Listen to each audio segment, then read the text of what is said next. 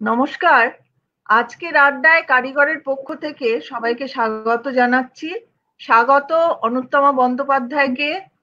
আমাদের প্রজন্মের এক অতি শক্তিশালী শক্তিশালী মানে পাওয়ারফুল লেখক তিনি। অল্প বয়সেই নিজের পেশায় অত্যন্ত সফল একজন মানুষ। মনস্তাত্ত্বিক হিসেবে বহু মানুষের ভরসার এবং শ্রদ্ধার জায়গায় তিনি আছেন। তার লেখা অনুষঙ্গ বইটি নিয়ে আজ আলাপ। বইটি প্রকাশিত হয়েছে কারিগর থেকে January two thousand নাইনটিনে Anuttama very welcome thank you Gargi আমি কারিগরকেও আবারও ধন্যবাদ জানাব। নমস্কার আপনাদেরও আমাদের সঙ্গে থাকার জন্য। থ্যাংক ইউ সো মাচ আচ্ছা অনুত্তমা অনুষঙ্গ বইয়ের প্রথম ভাগে তুমি কিছু ব্যক্তিগত অভিজ্ঞতার কথা লিখেছো। যেখানে সরাসরি চরিত্র হিসেবে তুমি উপস্থিত আছো। ছোটবেলার কথা আছে তোমার বড়বেলারও কিছু কথা আছে। এই পর্যায়ের প্রবন্ধের প্রবন্ধ গুচ্ছের নাম উত্তরে হাওয়া কেন? উত্তরে হাওয়া তো খুব কমফোর্টেবল নয় কনকনে আমাদের বেশ শীত শীত করে তো কেন রেখেছো এরকম? এটা একটা দারুণ প্রশ্ন। কোনোদিন কেউ আমায় প্রশ্ন করেনি। Thank you Gargi. উত্তরে হাওয়া নামকরণের একটা খুব সহজ উত্তর হচ্ছে, উত্তর কলকাতা এখানে একটা চরিত্র হিসেবে বারবার উঠে এসেছে। এই চ্যাপ্টারে যেহেতু আমার ছোটবেলার কথা মূলত রয়েছে এবং ছোটবেলার অনুষঙ্গে এখানে অনুষঙ্গটা মূর্ধন্যস্য অর্থাৎ অ্যাসোসিয়েশনে আমার আজকের ভাবনা, আমার অভিজ্ঞতা, আমার কিছু স্মৃতিচারণ এবং আজকের উপলব্ধি এর একটা মিলমিশ রয়েছে ওই চ্যাপ্টারে ইনফ্যাক্ট একটা লেখা যেখানে ধরো স্থান মাহাত্ম বলে একটি লেখা আছে, যেখানে আমি একটা সিঙ্গারার দোকানের কথা বলছি এবং একটা বাড়ির নিচে সিঙ্গারার দোকান ছিল বলে সেই বাড়ির ওপরের তলায় আমি গান শিখতে যেতে মনস্থির করি। আসলে গান শেখাটা আমার উদ্দেশ্য ছিল না। ওই সিঙ্গারার দোকানের ময়নের গন্ধটা আমাকে ভীষণ টানতো। এবার এটা যে লাহা কলোনি মাঠের পাশ দিয়ে যাওয়া একটা গলি, ওখানে তো উত্তর কলকাতার নিজেও একটা চরিত্র। মানে আমার এই গোড়ার দিকের লেখাগুলো যারা এই বইটি পড়েছেন বা যদি কেউ পরবর্তীকালে পড়তে চান সেখানে আমার নিজের একটা বিরাট অংশ যেহেতু কেটেছে উত্তর কলকাতায় জীবনের সেইটা খুব বারংবার উঠে এসছে বলে আমার মনে হয়েছিল উত্তরে হাওয়া নামটা দেব। এবং এখন আমি উত্তরে থাকি সেটাও একটা কারণ। এখন আমি তুমি প্রায় নেবার আমরা সবই এখন দক্ষিণী হয়তো সেই জায়গা থেকেও কোথাও একটা ফিরে তাকানো আছে। একেবারেই। উত্তরকে খানিকটা মিস করাও একদম বইয়ের পাতায় পাতায় সেটা বোঝা যায়। আচ্ছা আর একটা কথা গোটা বইয়ে তুমি যে কবিতা লেখো আমার মনে হয় এটা অনেক মানুষই জানেন এখন। এবং বইয়ের প্রতিটি লেখার মধ্যে সেই কবির কলমের একটা ছাপ আছে যার জন্য খুব ইম্পর্টেন্ট খুব সিরিয়াস বিষয় নিয়ে কথা বলেছ। কিন্তু সেটা কখনো এটা মানে পড়তে পড়তে মনে হয় না যে এনজয় করে পড়া যায় আর কি তো এত সহজাত এবং ফ্রি ফ্লোয়িং তোমার ভাষা। তবু লিখেছো লেখার ব্যাপারে একটা অনীহা রেজিস্টেন্স আছে। সেটা কি এখনও আছে? সেটা থাকলে কিন্তু বাংলা সাহিত্যের যারা ভালোবাসেন তাদের মহা বিপদ। সাধে বলেছি গার্গি যে আমাকে তুমি প্রায় প্যাচে ফেলার মতো কিছু প্রশ্ন আমি করবে বুঝতে পারছিলাম টের পাচ্ছিলাম। আমি না এটা নিয়ে ভেবে দেখেছি দেখো ইনফ্যাক্ট আমার এটা যে মুখবন্ধ বইটার সেটাও পড়লে ওখানেও আমার খুব স্বীকারোক্তি আছে যে আমি এই বইয়ের কাজটাও দেবাশিসদা রয়েছেন আমাদের সাথে আজকে অনুষ্ঠানে। দেবাশিসদাও জানেন যে দেবাশিসদাকে কতবার আমাকে খোঁচাতে হয়েছে কি প্রুফটা দেখে দিন দিন, না হলে তো বইটা বেরোবে না। এবং আমি ফেলে রাখতাম। এবং লেখা দেওয়ার ক্ষেত্রে তুমি অনেক সময় এটার মধ্যে দিয়ে গেছো যখন তোমার এটা নিয়ে একটু লেখো লেখো লেখো। আমি হয়তো বুঝতে পারছি বিষয়টা জরুরি, কিন্তু আমার যথারীতি না না, আমাকে কেন আবার অন্য কাউকে নাওটাও ইত্যাদি। এটা কিন্তু বিনয় নয়। আমার একটা সময় মনে হতো এটা জাস্ট আলসেমি।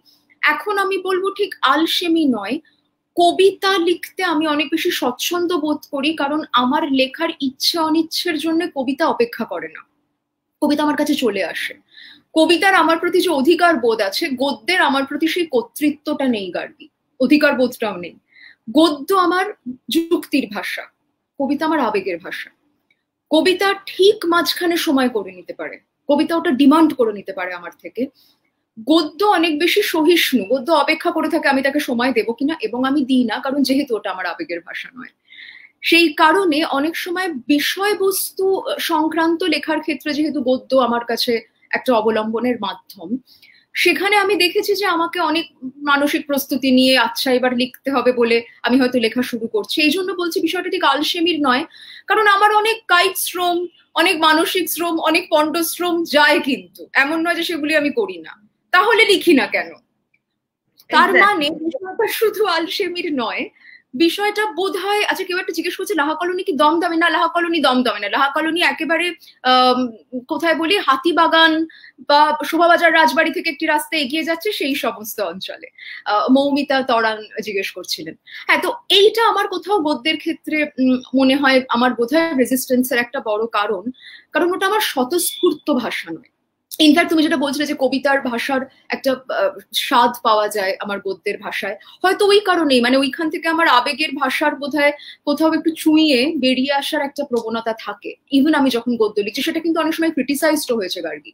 আমাকে কিন্তু অনেকে আমার গদ্য পড়ে বলেছেন, এত কবিতা বন্ধি গদ্য কেন? আমি এখন অনেক ক্ষেত্রে সেটা নিয়ে সচেতন হওয়ারও চেষ্টা করেছি, সেটা কারোর ভালো লাগে, কারুর ভালো নাও লাগতে পারে। আমি নিজে খুব গদ্যের মানুষ, এইটা আমি ভেতর থেকে বোধ করি না এখনও বোধ কিন্তু গদ্যটা মানে আমার যতটুকু পড়াশুনো আছে গদ্যটা গদ্যের মতনই হয়েছে কিন্তু কবিতার ভাষার মানে একটা থাকাতে সেটা আরও সরস আরও সুন্দর এবং তুমি খুব সরস ভাবে লিখতে পেরেছ পারো আর কি। সেটা আর একটা মজা পড়ার ক্ষেত্রে।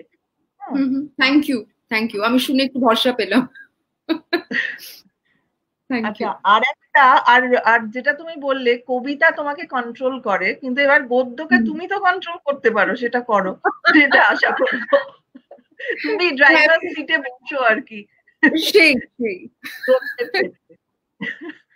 না মাঝে মাঝে আমি সেটা অ্যালাউ করি এই যে ধরো তোমাদের পরবর্তী যে বইটা কারিগর থেকেই আসছে নারী যৌনতা নিয়ে সেটা নিয়েও তুমি আমায় বলায় গোড়ার দিকে আমি একটু আচ্ছা দেখা যাবে কিন্তু দেখি করেছি। কিন্তু ফাইনালি লিখেছি। তো এইরকম ভাবে যারা এই অনুষঙ্গের বইটির সঙ্গেও একটা পয়েন্টে সত্যি অনেকখানি জুড়ে ছিলেন তাদের কথা বলতেই হয়। যেরকম অর্পিতা অর্পিতা তখন বাংলা লাইভে ছিলেন। অর্পিতা খুবই মানে আমার প্রতি সহিষ্ণু হয়ে নানা অনুত্তমাদি লেখো লেখো লেখো করে একটা সময় ধৈর্য ধরে যে আমাকে খুঁচিয়ে গেছেন বা ভাস্কর লেট প্রতিদিনের অনেকগুলো খবরের কাগজের একটা অংশ হিসেবে এর উত্তর সম্পাদকীয়গুলো বেরোতো।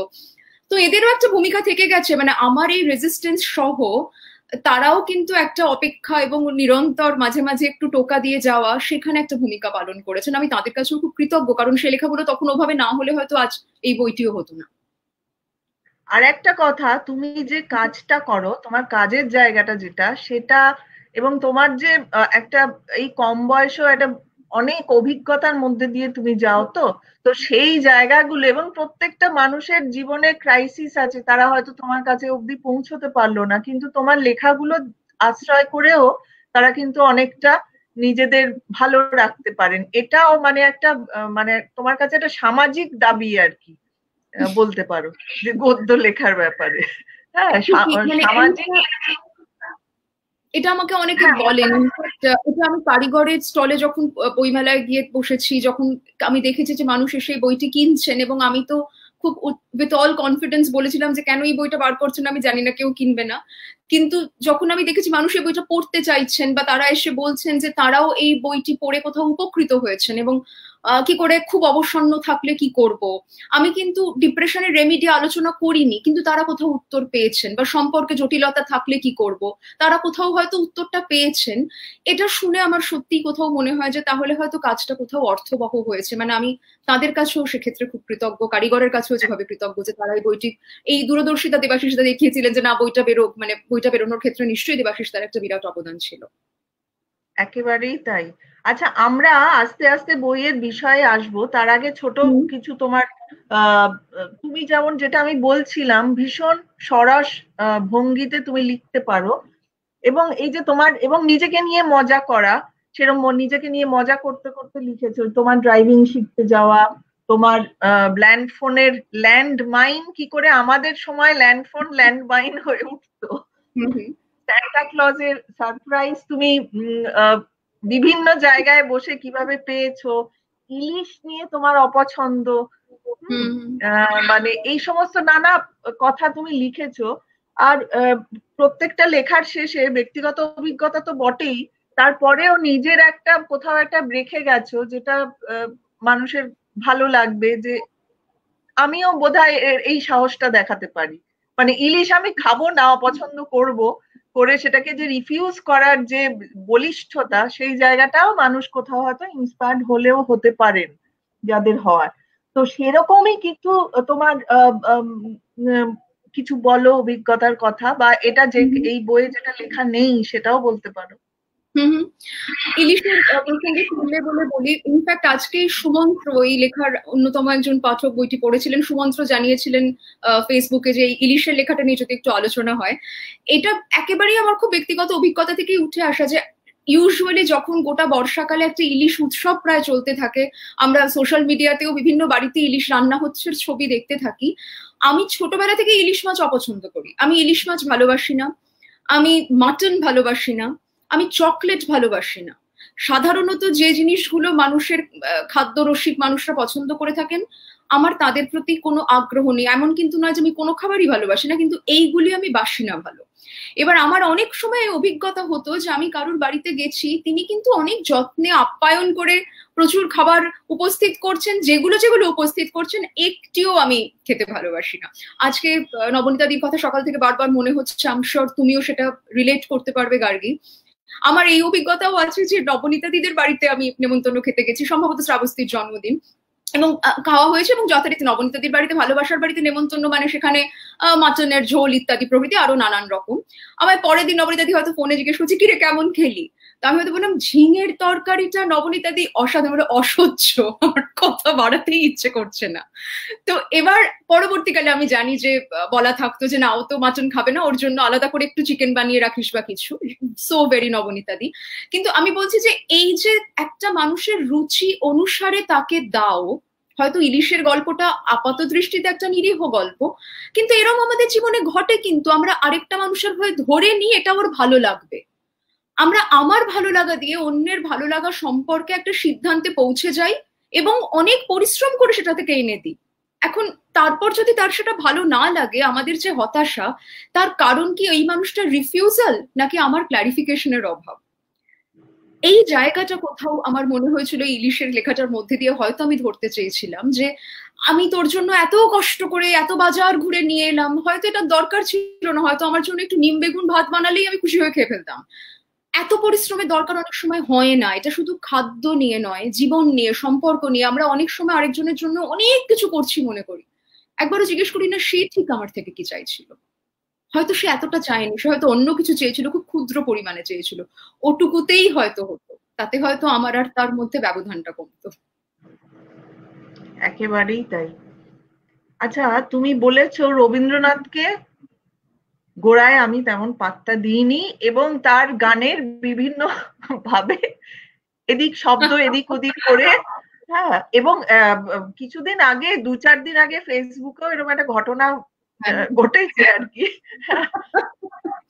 কিন্তু হ্যাঁ। এক সময় এই রবীন্দ্রনাথ তো রবীন্দ্রনাথ তোমাকে পেয়ে বসলেন হ্যাঁ কিন্তু সেটা কি তুমি মনে করো যে তোমার জীবনের একটা খুব গুরুত্বপূর্ণ বাঁক সেটা কি মনে হয় তোমার? মনে হয়। আমার মনে হয় দু অর্থে সেটা খুব গুরুত্বপূর্ণ। এক হচ্ছে যে আমার এই অনুষঙ্গ বইটিতে দুটো ক্ষেত্রে আমাকে নিয়ে গান শেখানোর যে একটা বিরাট পরিকল্পনা এবং উদ্যোগ এবং তার সমূহ ব্যর্থতা তার কথা আছে। এক হচ্ছে রবীন্দ্রসঙ্গীত শেখানো আরেকটা হচ্ছে হিন্দুস্তানি ক্লাসিক্যাল গান গান শেখানো। আমি দুটোর একটিকেও অসম্মান করছি না। কিন্তু আমি তখনও বোধহয় তাকে আহরণ করতে প্রস্তুত ছিলাম না। আমরা অনেক সময় কিন্তু আমাদের বাড়ির শিশুদের নানান কিছু শেখাতে পাঠিয়ে দিই, সে তখনও প্রিপেয়ার্ড কিনা ভেবে দেখি না। আমার মনে হয় আমি নিজে এই রবীন্দ্রসঙ্গীত নিয়েও যে রেজিস্ট্যান্স বোধ করতাম, তার একটা বড় কারণ আমার মনে হতো এটা আমার উপর আরোপ করা হচ্ছে। আমাদের বাড়িতে গানের যে চর্চা ছিল বা যে ধরনের গানের চর্চা ছিল, আর আমি যে ধরনের গান শুনতাম, সেটা তখন বাড়ির লোকেরা পাতেই তুলবে না। আমি একদম ঘোর তখন বলিউড শুনছি এমন সব গান শুনছি যেগুলো পাড়ার ভাষানে কেউ বাজাতে বাজাতে যাবে, আর আমি জানলায় দৌড়ে দৌড়ে গিয়ে গিয়ে শুনব, কারণ ওই গানটির প্রতিই আমার আকর্ষণ। আমার মনে আছে আমাকে একটা সিনথেসাইজার কিনে দেওয়া হয়েছিল। আমার একমাত্র আগ্রহ ছিল একদিন আমি ওতে কালি কালি আঁখে বাজাবো। এটাই আমার জীবনের অ্যাসপিরেশন তখন। সো তাকে যদি তখন ধরে নিয়ে গিয়ে রবীন্দ্রসঙ্গীত শেখানোর চেষ্টা করা হয় বা তাকে যদি এখন নিয়ে গিয়ে একটা তিলক কামত শেখানোর চেষ্টা করা হয়, যা হওয়ার তাই হচ্ছিল। আমার মনে হয় রবীন্দ্রনাথকে বোধ করাটা, রবীন্দ্রনাথ বলে নয়, আমি বলব যে কোনো উপলব্ধির জায়গা আমাদের ভেতর থেকে না এলে হয় না, গার্গি। আমার কাছে রবীন্দ্রনাথের ফিরে আসা, রবীন্দ্রনাথের সঙ্গে বলতে পারো আমার আত্মিক সংলাপ গঠন, সেটা মার মৃত্যুর পর, মা চলে যাওয়ার পর আমার কাছে আসে। ইনফ্যাক্ট প্রথম যে লেখাটি অনুষঙ্গ বইটিতে সোম থেকে রবি, সেই লেখাতে সোম থেকে রবির কারণই ওটা যে সোম থেকে রবি কিন্তু তুমি যদি দেখো, একদিন পিছিয়ে গেলেও রোববারে ফেরা যায়। আবার একটা গোটা সপ্তাহও লেগে যেতে পারে। তো আমার কিন্তু একটা দীর্ঘ পথ লেগেছে। এখনও যে আমি রবীন্দ্রনাথের গান সবসময় শুনছি আর অন্য গান শুনি না, তা কিন্তু মোটেও নয়। আমি ভেরিড লিসনার আমি সমস্ত রকমের গান শুনি। কিন্তু রবীন্দ্রনাথকে এখন যেভাবে হয়তো নিজের মধ্যে বোধ করতে পারি, সেইটা আমার ভেতর থেকে না এলে বোধহয় ওই বাইরে থেকে চাপিয়ে দেওয়া গানের স্কুল দিয়ে সেটা হতো না। সেইটা আমি খুব হাড়ে হাড়ে টের পেয়েছি। এবং শুধু না তুমি কেন আজকে যে বাচ্চাদের নিয়ে এত সমস্যা এবং আমার নিজের জীবনেও তাই ঘটেছে প্রত্যেক বাবা মা আমাদের তারা যদি গান ভালোবাসেন তারা বাচ্চাদের চেষ্টা করেন ও এটা শিখুক। হ্যাঁ কিন্তু এই বাচ্চা প্রস্তুত কিনা এবং সারা জীবনের মতো সেই বাচ্চাটার ওই জায়গাটা একটা ভীতি চলে আসতে পারে। আমি করবই না এটা কিছুতেই করব না। এরকম একটা সেখানে তুমি যেমন অত্যন্ত ভালো গাও এখনও। সেটা আমি জানি। আমি জানি না কতজন দর্শক জানে। কিন্তু তোমার তবু গানটা হয়েছে, আমার তো হলোই না। ব্যাপারটা আমারও বোধ হয় পুরো হয়নি গার্গি। তার কারণ আমি সত্যিই মনে করি যে একজন মানুষ, একটা গান, আমি গান গাই বলার ক্ষেত্রে তার অধ্যাবসায় লাগে, তার সাধনা লাগে, তার পরিশ্রম লাগে, তার প্রশিক্ষণ লাগে। আমি তো সেগুলো একটিও সিরিয়াসলি করিনি। হয়তো আমার গানের একটা অ্যাপটিটিউড ছিল, কিন্তু হয়তো ওই প্রক্রিয়ার দরুন বা এই যে আমার বাড়িতে গান নিয়ে একটা চর্চা, মা অসম্ভব ভালো গান করতেন, এখনও আমার মামার বাড়ির যারা রয়েছেন, আমার মামু, তারা প্রত্যেকেই বলেন, তুই গানটা করলি না। আমি তাদের ক্ষোভটাও বুঝি, কিন্তু আমার ভেতর থেকে গান শোনার যতটা তাগিদ থাকে, গান গাওয়ার ততটা তাগিদ কোনোদিনই তৈরি হলো তো হয়েছে কিনা ঠিক বলতে পারব না। হয়তো খুব বেসুরো কোনো কিছু না গাইতে পারি, কিন্তু সেটা তো ধরো আমার অ্যাপটিটিউড সেটাতে আমার খুব করণীয় কিছু ছিল না। বাকিটা ঘটাইনি। একেবারেই তাই। এই এই যে ছোট ছোট জায়গাগুলো, এই ছোট ছোট মোচড়গুলো যদি আমরা জীবনে বুঝতে পারি, তাহলে অনেক বোধহয় সমস্যা এড়িয়েও যেতে পারি আমরা। আগের প্রজন্ম পারল না আমরা পারতে পারি সেরকম ভাবে আচ্ছা এবারে বইয়ের ভেতরকার বিভিন্ন নিবন্ধের বা প্রবন্ধের কথায় আসি। আচ্ছা তুমি প্রথমে আসি প্রেমের কথায়। কারণ প্রেমের থেকে তো ভালো জিনিস কিছু হতে পারে না। ভালোবাসার কথাই প্রথমে আসি। প্রেমে আরাম যতটা যত প্রেমে আরাম যত জটিলতা তার থেকে অনেক বেশি। সেটা আমি আমরা এই প্রজন্মে দেখতে পাচ্ছি রোজ খবরের কাগজে দেখতে পাচ্ছি। তোমার মত কি? মনস্তাত্ত্বিক হিসেবে প্রেমে জটিলতা কাটাবার সহজ কিছু উপায় বলতে পারো? না। পারি না। আমি উল্টোটা বলব গার্গি। আমার মনে হয় একজন মানুষ কতটা জটিলতা কতটা জীবনের টানা পড়েন প্রেমে মুখ থুবড়ে পড়ার কষ্ট নিতে প্রস্তুত সেটার সম্পর্কে সম্যক ধারণা নিলে বা থাকলে তবেই কিন্তু তার একটা সম্পর্কে ঢোকার ক্ষেত্রে তিনি প্রস্তুত সেটা ভাবা উচিত। মানে আমি যদি আর একটু সহজ করে বলি অনেক সময় আমাকে অনেকে বলেছেন যে আমার বাচ্চার একটা প্রেম হয়েছে স্কুলেও বলছে বা একজন কেউ এসে হয়তো বলছে যে আমার মনে হচ্ছে প্রেম হয়েছে। Am I ready for it এটাই কি প্রেমে পড়ার বয়স? আমার ইউজুয়াল উত্তর থেকেছে, তুমি যদি তার ধাক্কাগুলো নিতে প্রস্তুত থাকো, তাহলে তোমার বয়স হয়েছে। তুমি রেডি কারণ ধাক্কা আসবেই, জটিলতা আসবেই। প্রেম বলে শুধু নয়, গার্গি, আমরা যেটার প্রতি অ্যাটাচড হব, যেখান থেকে আমরা আনন্দ, ভালো ভালো থাকা, পূর্ণতা পাওয়ার চেষ্টা করব, সে যাই হোক, সে আমার একটা কাজও হতে পারে। সেটা প্রেমও হতে পারে, সম্পর্কও হতে পারে। সেটার মধ্যে আমাদের পারিবারিক দায়িত্ববোধও থাকতে পারে। যেখানেই আমি অনেকটা প্রায়োরিটি অ্যাটাচমেন্ট নিয়ে আসব, সেখানে যেমন আমার প্রত্যাশাও থাকবে, আমার প্রেমও থাকবে, তাড়নাও থাকবে, আমার যন্ত্রণাও থাকবে। যা আমাকে ভালো রাখতে পারে, তাই আমাকে ভালো না রাখতে পারে। যা আমাকে ভালোও রাখে না, তা আমাকে খারাপও রাখবে না। তো প্রেমের সঙ্গে অঙ্গাঙ্গিক ভাবে এটা আসবে। কিন্তু আমার মনে হয় যে আমি কি শুধুমাত্র জটিলতা নিয়েই একেবারে মানে প্রায় ল্যাজে গোবরে হব? নাকি তার থেকেও একটা উত্তরণ সম্ভব?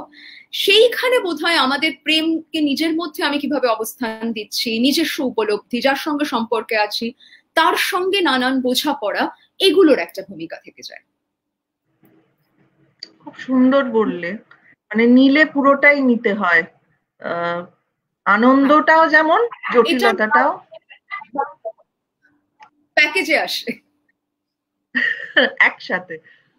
আচ্ছা সম্পর্কের মধ্যে জন্মানো রাগের ভাষা আমরা নিজেরাই জটিল করে তুলি। কীভাবে এড়াবো? মানে রাগ একটা তো এখন সারা বিশ্ব জুড়ে দেখছি এবং রাগ এবং হিংসা এরা একটা মানে মেজর রোল প্লে করছে আমাদের আচার আচরণে। এই যে রাগ এই অ্যাঙ্গারটাকে আমরা কীভাবে নিজেদের কন্ট্রোলে রাখতে পারি? সবকিছুর মধ্যে একটা রাগ এনে ফেলছি। হুম এটার অনেকগুলো দিক আছে গার্গি। ইনফ্যাক্ট এই বইটিতে বেশ কিছু লেখায় আলাদা আলাদা করে তার কিছু কিছু আলোচনাও রয়েছে। আমি দু একটা জায়গায় একটু আজকে আমাদের আলোচনা একটু ছুঁয়ে যাব। এক হচ্ছে যে আমার কেন রাগ হলো এইটা নিয়ে নিজেকে নিয়ে আমরা খুব খারাপ বোধ করব না। রাগ আমাদের একটা প্রাথমিক আবেগ। আমাদের রাগ হবে। একটা বাচ্চা যে মুহূর্তে জন্মাচ্ছে তার যে যে আবেগগুলো তার পর মুহূর্তে সে অনুভব করতে শুরু করবে, তার গোড়ার দিকের সেই দিনেও কিন্তু রাগ থাকে। কেন আমার খিদে পেয়েছে? মা এক্ষুনি আমায় খাওয়াবে না। প্রথম রাগ। তো রাগ কিন্তু খুব প্রিমিটিভ একটা ইমোশন সেভাবে যদি আমরা দেখি, খুব আদিম একটা ইমোশন এবার রাগ হবে এবং অন্তরঙ্গ সম্পর্কের ক্ষেত্রে যেহেতু আমাদের প্রত্যাশা বেশি, যেহেতু তাতে আরও অনেক ধরনের স্তর থাকে, আমাদের রাগের নানান অভিমুখ নানান ভাষা তৈরি হয়। যেটা মনে রাখতে হবে সেটা হচ্ছে আমি ভীষণ রাগ যাকে দেখালাম, রাগ দেখিয়ে এক্ষুনি যে সিদ্ধান্ত নিয়ে আমি জানান দিয়ে দিলাম, তাতে কি আখেরে আমি ভালো থাকছি? বা আমি খুব রেগে মেগে আরেকটা মানুষকে যখন একটা কিছু কনভে করছি, তাতে কি সেই মানুষটি আমি সত্যি ভীষণ বুঝতে পেরেছি, ভুল করেছি বলে নিজেকে পরিবর্তন করছে? নাকি সেও আমার সঙ্গে আরও একটা কাউন্টার অ্যাগ্রেশনের রাগের একটা প্রতিরাগ তৈরি করে দ্বন্দ্বে আসছে। তাহলে আমরা যখন ভীষণ রেগে যাচ্ছি, ওই মুহূর্তে আমরা যদি আলোচনাটাকে একটু স্থগিত রাখি, এমনও হতে পারে যে আমি উল্টো দিকের মানুষটিকে বললাম যে, শোনো, আমার এখন অসম্ভব রাগ হচ্ছে। আমি এই নিয়ে তোমার সঙ্গে কথা বলতে চাই না। আমার এখন অসম্ভব রাগ হচ্ছে অবধি কিন্তু আমরা নিশ্চয়ই কনভে করতে পারি। বা এখন এই নিয়ে কথা বাড়ালে কাকচিল বসবে না, ধুন্ধুমার হবে। এটা আমি বলতে পারি। কিন্তু ধুন্ধুমার হওয়াটাকে আটকাতে পারি। এবার যে মুহূর্তে আমি মনে করছি যে আমি একটু নিজের মধ্যে স্থিত হয়েছি, আমি বক্তব্যটাকে যুক্তিযুক্তভাবে উপস্থাপিত করতে পারব, তখন আমি আলোচনাটায় ফেরত চাই। এবং আরেকটা অনেক সময় একটা টিপ অনেকেই আমরা আলোচনা করে থাকি, সেটা করা যেতে পারে, সেটা হচ্ছে যে যখন কারোর উপর ভীষণ রেগে গেলাম, হয়তো তাকে আমার কুৎসিততম ভাষায় এখন আক্রমণ করতে ইচ্ছে করছে। আমায় জানতে হবে যদি সত্যি তাকে ফোন করে বলি বা মেসেজ করে পাঠাই, সেও কিন্তু তার কুৎসিততম মুখটি আমায় দেখাবে, তা আমার ভালো না লাগতে পারে। তাহলে আমি কি করতে পারি? বা আমার পরে তাই নিয়ে খারাপ লাগাও থাকতে পারে। আমি কেন ওকে এত খারাপ কথা বলেছিলাম? রাগের সঙ্গে তো আমাদের গিল্টও আসে। ফলে তো তখন জটিলতা বাড়বে যদি আমি রাগটাকে ওইভাবে ভীষণ উদগ্র ভাবে দেখাই।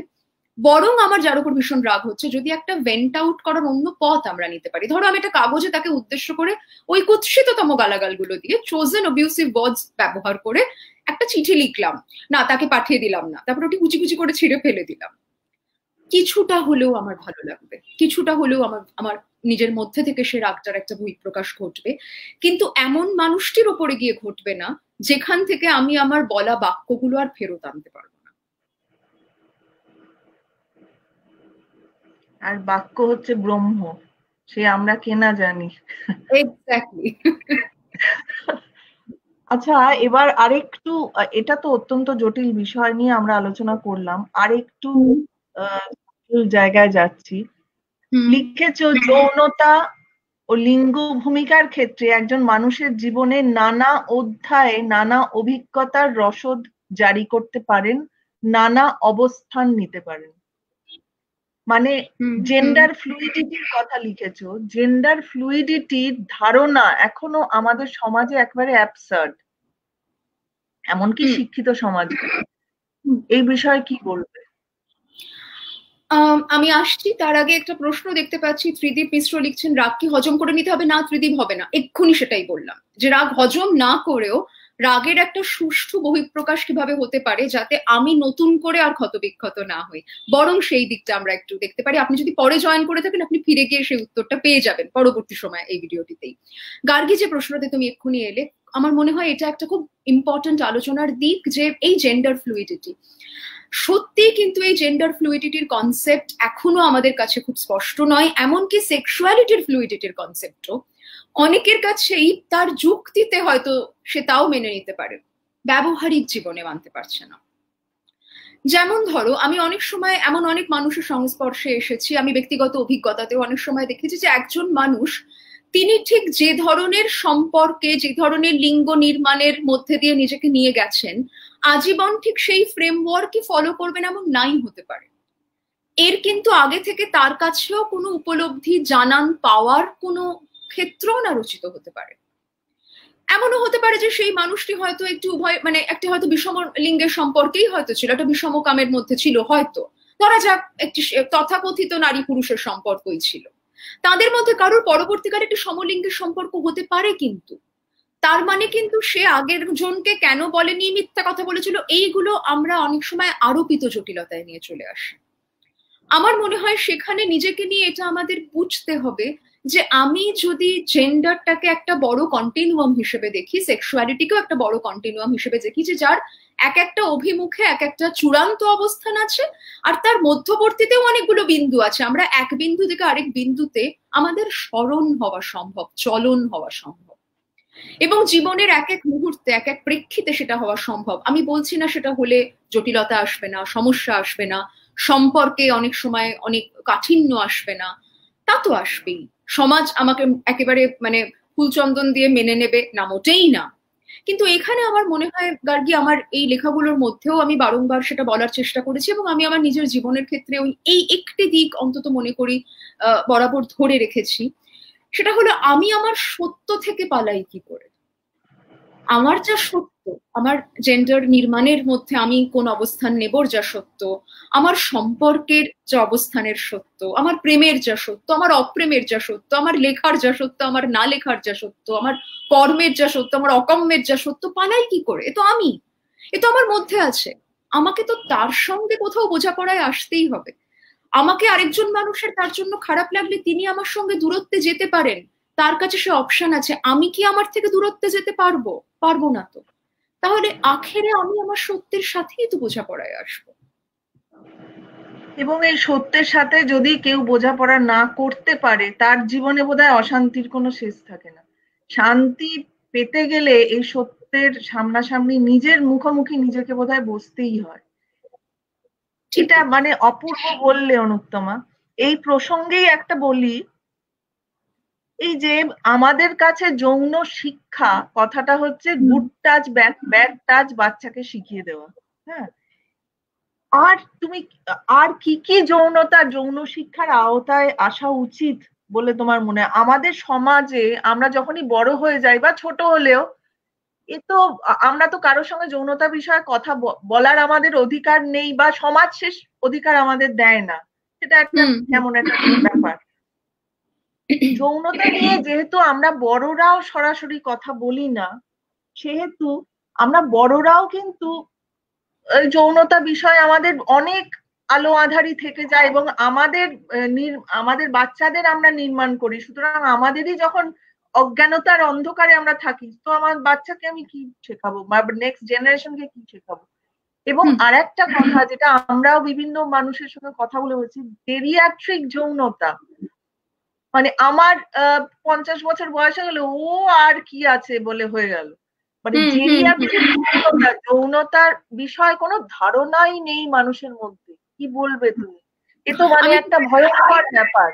হ্যাঁ ঠিক আমি এই প্রশ্নটা আমি মনে করি খুব গুরুত্বপূর্ণ। আমি এটাতে আসব, গার্গি। তার আগে এক্ষুনি দেখলাম রত্নাবলিদি অনুষ্ঠান দেখছে। হাই রত্নাবলিদি রত্নাবলিদি লিখেছে, এই সত্যিগুলোও কি সামাজিক নির্মাণ নয়? আমি একটু ওটা রেসপন্ড করে নিয়ে এটায় আসি। এটা একটা দারুণ তাত্ত্বিক প্রশ্ন। কারণ আমরা যেগুলোকে আমাদের সত্য বলে মনে করি, তাতেও কি সমাজের একটা কোথাও ভূমিকা থাকেনি? সেই নির্মাণের পেছনে হ্যাঁ রত্নাবলিদি থাকে। আমার মনে হয় সেখানেই বোধহয় আরও বেশি নিজেকে দেখার ইন্ট্রসপেক্ট করার প্রয়োজন আছে। প্রতি পদক্ষেপে দাঁড়িয়ে যে এই সত্যিরও যেহেতু অনেক মুখ আছে, সত্যিরও অনেক ভার্জন রয়েছে, কোন সত্যির সঙ্গে আমি কিছুটা শান্তভাবে অবস্থান নিতে পারব? So am I in peace with the truth I am following আমি যদি সেইভাবে দেখি মানে কোনটা আলটিমেট সত্য এইভাবে যদি আমরা নাও পৌঁছতে পারি, কোনটা আমার কাছে গ্রহণযোগ্য সত্য? আমার জীবন ধারণের ক্ষেত্রে, আমার কাছে অনেক বেশি আরামের সত্য। আমরা যদি সেই দিক থেকে দেখি, তাহলে বোধহয় নিজের সঙ্গে দ্বন্দ্বের জায়গাগুলো আমাদের কিছুটা কমতে পারে। এটা আমি একেবারে আমার ব্যক্তিগত ভাবে আমি যা ফলো করি তাই বললাম। এটাই একমাত্র রাস্তা কিনা আমি জানি না। নিশ্চয়ই না, আরও অনেক ভাবেই হয়তো বিষয়টাকে দেখা যেতে পারে। এবার তোমার, এবার প্রশ্নে আসি, গার্গী।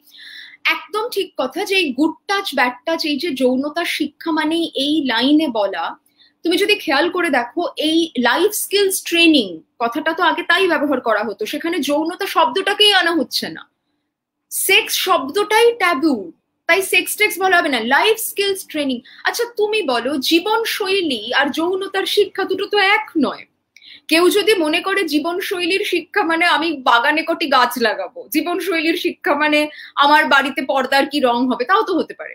তাহলে আমরা যে ভাষায় একটা শিক্ষার কথা বলছি সেখানেও আমাদের অনেক রাগ ঠাক গুড়গুড় দুই এই গুড টাচ ব্যাড টাচ পুরোটাই সেক্সুয়াল ভায়োলেশন ভায়োলেন্স সেইটার নিরিখে বাচ্চাকে শেখানো হচ্ছে। প্লেজারের কথা বলা হচ্ছে না কিন্তু। আমরা ধরেই বা নেব কেন যে একজন মানুষ সে যে বয়স খুব ইম্পর্টেন্ট এটা। প্লেজার না এটা ভয় তৈরি করে দেওয়া। ভয় তৈরি করে দেওয়া। মানে যেন তার এনজয়মেন্ট প্লেজার মানেই সেটা অপরাধ। সেক্ষেত্রে সেটা অন্যায়। তোমাকে গুড টাচ ব্যাড টাচ শেখানো হচ্ছে যাতে তুমি লঙ্ঘিত না হও। কিন্তু তুমি কাঙ্ক্ষিত কীভাবে হবে তো তোমায় শেখানো হলো না? আমরা একটা বাচ্চাকে আমাদের একজন সাইকিয়াট্রিস্ট বন্ধু খুব সুন্দর বলেছিলেন একটি অনুষ্ঠান আমার ভালো লেগেছিল। উনি বলেছিলেন যে একটা বাচ্চাকে তো খেতে শেখানো হয় স্নান করতে শেখানো হয়। কীভাবে সেক্স করবে তো তাকে আমরা শেখাই না আমরা ধরেই নি ওটাও পারবে। কি করে ধরে নিচ্ছি? এবার যদি সে তার নিজের মতন করে একটা রাস্তা খোঁজে, আমরা যদি দেখি সে কোনোদিনও একটু পর্নোগ্রাফি দেখছে, আমরা রেড়ে করে উঠি। আমরা যদি দেখি যে সে তার বন্ধুর সঙ্গে একটা সেক্সুয়াল প্রশ্ন নিয়ে আলোচনা করেছে, আমরা অভিভাবক হিসেবে আমাদের একেবারে মাথার ঘাম পায়ে পড়ে। তো তাহলে সেইখানে তো আমাদেরও কোথাও ভূমিকা নিতে হবে এটা বোঝবার যে এই প্রশ্ন তার মধ্যে আসবে। আমরা দেখি না সে প্রশ্নের উত্তরে থেকে কীভাবে নিয়ে আসতে পারি। ইনফ্যাক্ট রত্নাবলী লিখছেন অ্যাফার্মেটিভ সেক্সুয়ালিটি যে অধিকার, সেটা এখনও planet Pluto absolutely affirmative sexuality না করে পুরোটাই নেগেটিভ অর্থে ব্যবহৃত হচ্ছে। আরও যেটা হয়ে যাচ্ছে জেরিয়াট্রিক সেক্সুয়ালিটি নিয়ে তুমি বলছিলে কদিন আগে আমশোর তুমিও দেখেছ অনেক জায়গায় অনেক সোশ্যাল মিডিয়ায় দেখা হচ্ছিল যে মিলিন সোমান পঞ্চান্ন বছর বয়সে তিনি নগ্ন শরীরে সমুদ্রের ধারে দৌড়চ্ছেন এবং তিনি একজন তরুণীকে বিয়ে করেছেন নিয়েও অনেক কটাক্ষের সম্মুখীন হচ্ছে। পঞ্চান্ন বছর বয়সে তিনি সেক্সুয়ালি অ্যাক্টিভ থাকবেন কিনা তিনি তার শরীরকে কীভাবে উদযাপন করবেন আমার মনে হয় সেটা নিয়ে আমরা নাক কোনোর কে? পঞ্চান্ন ছেড়ে দাও। কেউ যদি পঁচাশিতে গিয়েও করেন, সেটা তার অধিকার। কেউ যদি পনেরো বছরেও তার মতন করে এক্সপ্লোর করেন, আমাকে বুঝতে হবে হ্যাঁ তাকে আমাকে জানাতে হবে, কারণ তার এখনও এক্সপোজারে অনেক কিছু নেই। কিন্তু জেরিয়াট্রিক সেক্সুয়ালিটির ক্ষেত্রে তুমি যে প্রশ্নটা আনলে, যেটা খুব গুরুত্বপূর্ণ, গার্গি, আমরা না ধরেই নিই যে প্রেম, বিবাহ, যৌনতা, সন্তান, শেষ, মানবপ্রস্থ। এই স্ট্রাকচারটাই গোলমেলে স্ট্রাকচার এই স্ট্রাকচারটার মধ্যে একজন মানুষের ব্যক্তি সত্তা যৌন সত্তা তার আবেগ তার আনন্দ তার প্লেজার তার ভোগ এই নিয়ে কথা বলা মানেই তাকে আমি একঘরে করছি তার মধ্যে অপরাধ বোধ তৈরি করে দিচ্ছি। আমাদের আবার কিসের সাজগোজ? আমাদের তো ছেলে মেয়েরা বড় হয়ে গেছে। কেন রে বাবা? এই যে কনসেপ্টটা আমার মনে হয় সেখানেও কিন্তু এই জেরিয়াট্রিক সেক্সুয়ালিটির একটা দ্বন্দ্ব মুখ হয়। একেবারেই তাই। এবং এর থেকেই হয়তো যে বিভিন্ন সমাজে যে অপরাধ হচ্ছে কে বলতে পারে যে এর থেকেই হয়তো তার বীজ রোপিত হচ্ছে এই ধরনের অদ্ভুত চিন্তাধারার মাধ্যমে। আচ্ছা এবার আমরা আসব ধর্ষণের প্রসঙ্গে। আমি একটা জিনিস আমরা ধর্ষণ নিয়ে তুমিও বিভিন্ন জায়গায় বিভিন্ন কথা বলেছ ধর্ষণ নিয়ে এবং আমরা তো পড়ছি সবকিছু। একটা জিনিস বলব যে এই যে আমাদের যেন একটা এই ওয়ার্ডটা এই শব্দটা ব্যবহার করে করে আমাদের একটা নিষ্প্রিয়তা এসে গেছে এই শব্দটার প্রতি। মানে একটা আমরা যেন একটা হাইবারনেশনে চলে গেছি। এই তোমার বইয়েই লেখা আছে এই একটা কাউকে অত্যন্ত অপমান করা মানে একেবারে রেপ করে দিয়ে এলাম। মানে এই যে রেপ শব্দটা এই শব্দটা আমরা যেন একেবারে জলভাত হয়ে গেছে। কোন বাড়ির ছোটরা বড়দের সামনে বলছে, বড়রা ছোটদের সামনে বলছে এবং এই শব্দটার যে গুরুত্ব সেটা হারাচ্ছে। তোমার বইয়ে এই নিয়ে একটা প্রবন্ধ আছে এবং তুমি কি বলবে এটা নিয়ে? একেবারেই।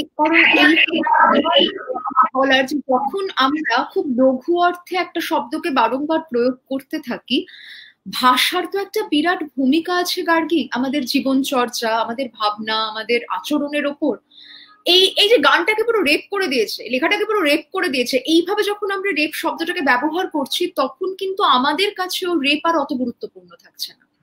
আমাদের অজান্তে আমরা এই শব্দটাকে এত প্রয়োগ করে ফেলেছি, অতি প্রয়োগের ফলে এটা তার তার যে কতখানি, তার মধ্যে কত নৃশংসতা, তার যে কত ধার, এটা কমে যাচ্ছে। আমার মনে হয় সেখানে আমাদের অনেক সচেতন হওয়া দরকার যে আমি এই শব্দবন্ধ কীভাবে প্রয়োগ করব। এবং এই কনটেক্সটে আমার বলার যে এই যে ধর্ষণ এবং ধর্ষণ কোনটা ধর্ষণ কোনটা ধর্ষণ নয় এই নিয়েও যে অনেক তাত্ত্বিক তর্ক চলে। আমরা সম্প্রতিও দেখলাম যে হাতরাসের ঘটনাটি। সেখানেও কিন্তু যে ধর্ষণ কি বলা যাবে? আদতে পেনিট্রেশন হলেই কি ধর্ষণ না হলে কি ধর্ষণ নয়? আমার মনে হয় কোনটা লঙ্ঘন কোনটা লঙ্ঘন নয় একজন নারীর শরীরে মানে যদি একটা পুরুষাঙ্গ প্রবেশ না করে, তবে ধর্ষণ হলো না, এমন অবৈজ্ঞানিক কথা আজকের দিনে দাঁড়িয়ে সত্যিই কি আমরা বলতে পারি? যেখানে আমরা নির্ভয়ার কাণ্ড দেখেছি, যেখানে প্রতি মুহূর্তে আমরা দেখছি যে একজন মানুষকে মেরে ফেলা হচ্ছে এমন ভাবে তার শরীরকে আমরা ছিঁড়ে খুঁড়ে নষ্ট করতে দেখছি। নষ্ট করার অর্থে আমি চরিত্র নষ্ট অর্থে বলছি না। আমি মনে করি না যে একজন নারীর মর্যাদা, চরিত্রবোধ, সেটা তার শরীরেই আবদ্ধ। সেই অর্থে বলছি না। আমি একেবারেই তার ফিজিক্যাল ভায়োলেন্স নিয়ে বলছি। তার তার স্বাস্থ্যের স্বাস্থ্য নষ্ট, তার জীবন কোথাও আর থাকছে না, সেই অর্থে বলছি। এইখানে যে ধর্ষণের একটা ভয়ানক মুখ, একটা নিষ্ঠুর মুখ উঠে আসছে, আমার মনে হয় ধর্ষণ নিয়ে আমাদের নিজেদের ক্ল্যারিটির অনেক দরকার আছে। আলোচনায় সেটা উঠে আসা দরকার আছে। আমি একটা কোয়েশ্চেন আরেকবার একটু দ্রুত নেব, গার্গি এখানে এসছে, লিপিকা লিখেছেন যে সোসাইটির তো অনেক রুল ভায়োলেশন করা কি সেটা উচিত? নাকি আত্মীয় স্বজনদেরও তো অনেক রোল প্লে করতে হয় জীবনে? লিপিকা, আমি দ্রুত বলব যে আমি কার কাছে কি ভূমিকায় থাকব, কোন কথায় কার সাথে কতটা কমপ্লাই করব বা করব না, এটা একেবারে আমার চয়েস আমরা যখন শান্তির কথা বলছি, সত্যের কথা বলছি, আমাকে শুধুমাত্র অন্যর মনের বিরুদ্ধে গিয়েই থাকলে আমাকে ভালো থাকতে হবে এমনটা আমরা বলছি না কিন্তু। এটা একটা পয়েন্টের পরে আমার নিজের সঙ্গে নিজের একটা অবস্থান, যে আমি কোন কোন রুলগুলোর দ্বারা নির্ধারিত হব আর কোন কোন ক্ষেত্রে একটা বেড়া টানবো? নিশ্চয়ই আমাদের আত্মীয় স্বজনদের ক্ষেত্রে অনেক ভূমিকায় নামতে হয়। সংঘমিত্রা লিখ ছিলেন একটু আগে যে, অশান্তি থাকে গিল্ট থাকে, তবু স্যাটিসফ্যাকশনও থাকে। এই যে কিছু ক্ষেত্রে হ্যাঁ আমার তো কিছু কষ্ট পাওয়া থাকবে। আর সত্যি কথা বলতে কি, লিপিকা, পৃথিবী শুধু সকলকে ভালো বোধে আমরা কেউ রাখতে পারি না। আমার সামনে যদি দশজন মানুষ থাকে, তাদের দশ রকম ডিমান্ড থাকবে, আমি দশজনকে একসঙ্গে হ্যাপি করতে পারব না। জয় গোস্বামীর একটা অপূর্ব লাইন ছিল, দেখিতে না দেখিতে, কিল বিলে দেখিতে, আমাকে ডোবালো মামো আত্মীয় স্বজনী আমি এই লাইনটিকে বড় ভালোবাসি। আমার মনে হয় এটা সব আত্মীয় স্বজনদের ক্ষেত্রে প্রযোজ্য নয়। কিন্তু অনেকের ক্ষেত্রে তো হয় যে তারাও হয়তো যা ডিমান্ড করছেন, যা বলছেন, সেটাকে মেটাতে মেটাতে আমরা নিজেরা ক্ষতবিক্ষত হয়ে যাচ্ছি এবং তারপরে মনে হচ্ছে জন্য তো আমি এগুলো করলাম কই? ও তো আমারটা বুঝলো না। ওইখানে থামুন রিফ্লেক্ট করুন, নিজেকে জিজ্ঞেস করুন আচ্ছা কোনটা করলে এখন থেকে অন্তত আমি আরেকটু বেটার থাকতে পারব? কারণ দিনের শেষে আমার আয়নার সামনে আমিই আছি আর আমার প্রতিবিম্ব আছে। তার সঙ্গে কি আমি একটা শান্তিপূর্ণ সহাবস্থানে আছি? হ্যাঁ তুমি বলো হ্যাঁ। আচ্ছা আর একটা জটিল জায়গা আছে। সেটা হচ্ছে বৈবাহিক ধর্ষণ। বৈবাহিক ধর্ষণ তোমার অত্যন্ত আমরা সবাই জানি এটা খুব একটা বিষয় যেটা নিয়ে আইন আমাদের কোনো মেয়েদের সাপোর্ট দিতে পারছে না। কিন্তু বৈবাহিক ধর্ষণকে গুরুত্ব দেওয়া হলে মেয়েদের অর্থনৈতিক নিরাপত্তার জায়গাটা কীভাবে হ্যান্ডেল করবে সোসাইটি এইখানেও আমার মনে হয় গার্গী, প্রথমত বৈবাহিক ধর্ষণ যে এখনও আইনের স্বীকৃতি পায়নি, এইটাই আমাদের কাছে অত্যন্ত লজ্জাজনক একটা জায়গা। এক্ষুনি লিপিকা আবার লিখেছেন যে আত্মীয় স্বজন বলতে চাইনি আত্মসংযম বলতে চেয়েছি। থ্যাংক ইউ আমি বোধহয় ওটা ভুল পড়েছি দ্রুত পড়ার ক্ষেত্রে। আমি এইখানে একটু এই প্রসঙ্গটাও আনব।